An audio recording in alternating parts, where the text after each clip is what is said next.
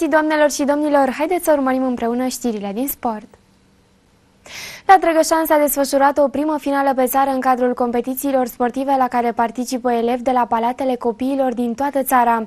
Jucătorii de tenis de masă din Drobeta Turnu Severin s-au întors și de la această competiție cu un bilanț remarcabil.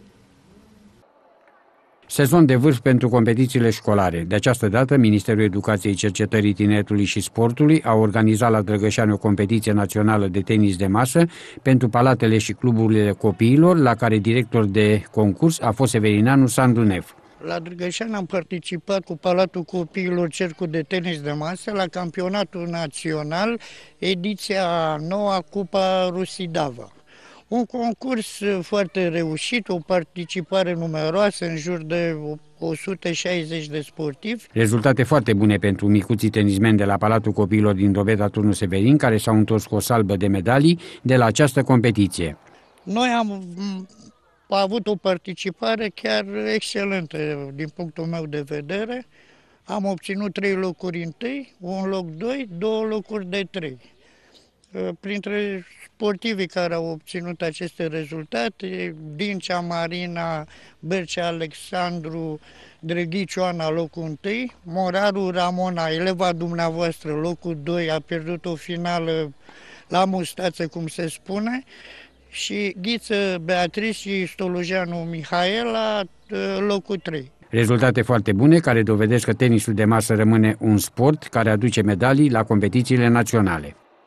După finala de la Drăgășan, va veni rândul municipiului nostru să organizeze o nouă acțiune din calendarul Ministerului Educației.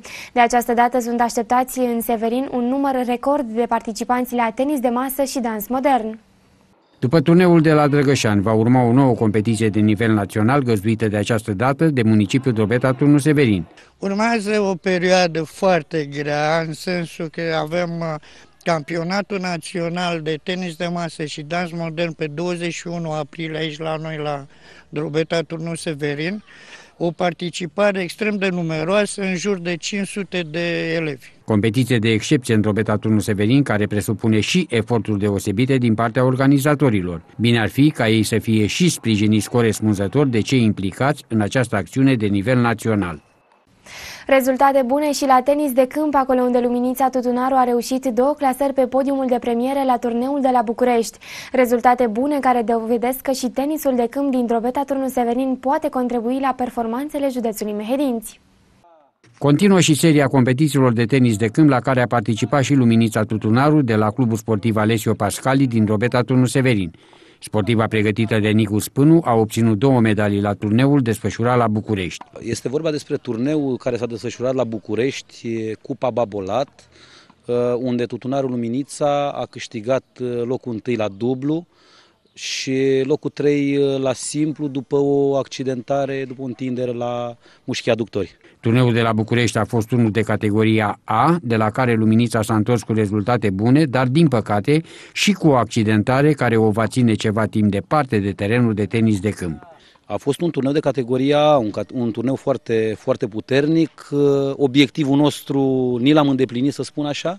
Am uh, câștigat în sfertul de final în fața favoritei unul relativ ușor, dar am avut ghinion în semifinal lumința accidentându-se. Vor urma și alte turnee, momentul de vârf al sezonului, urmând să fie pe 1-2 mai, tot la București. Doamnelor și domnilor, acestea au fost informațiile de astăzi. Sunt Laura Tufă, vă mulțumesc pentru atenție, la revedere!